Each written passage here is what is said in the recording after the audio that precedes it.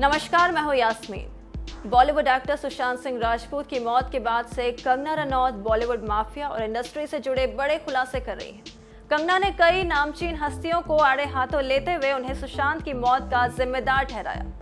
हाल ही में एक इंटरव्यू के दौरान कंगना रनौत ने सुशांत सिंह राजपूत के निधन के बारे में बोलते हुए बॉलीवुड की बड़ी हस्तियाँ और बाहरी लोगों के प्रति उनके रवैये के बारे में सच्चाई उजागर की।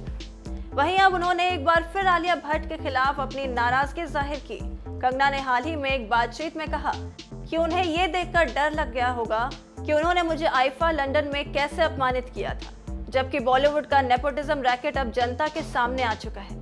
फिर भी इस बात पर कोई रोक नहीं है कि उनके अवार्ड समारोह एक दूसरे की पीठ थपथपाने के लिए कितना बड़ा घोटाला करते हैं।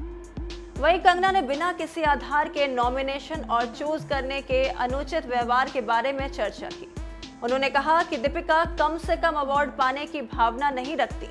जब उन्हें हैप्पी न्यू ईयर के लिए अवार्ड मिला तो उन्होंने स्वीकारा था कि क्वीन का प्रदर्शन बेहतर था। लेकिन आलिया को गली बॉय में 10 मिनट के रोल के लिए मेन लीड अवार्ड स्वीकार करने में कोई शर्म नहीं थी। तो देखा आपने, कंगना ने आलिया भट्ट को गली बॉय के लिए मिले बेस्ट एक्ट्रेस के अवार्ड पर ताना मारा है। वैसे ये पहली बार नहीं है जब कंगना ने आलिया भट्ट पर निशाना साधा हो। हाल ही में उन्होंने आलिया पर तंज कसते हुए कहा था कि वो स्वरा भास्कर और तापसी पन्नों से भी घटिया एक्टिंग करती है। बताते चले कि कंगना से पहले आलिया ने भी अपने पिता के ऊपर लग रहे आरोप का जवाब देते हुए कंगना पर निशाना साधा था और उनके लगाए आरोपों को झूठा बताया था। लेकिन शेरनी कंगना ने फिर से आलिया को मुँह तोड़ जवाब दे डाला है।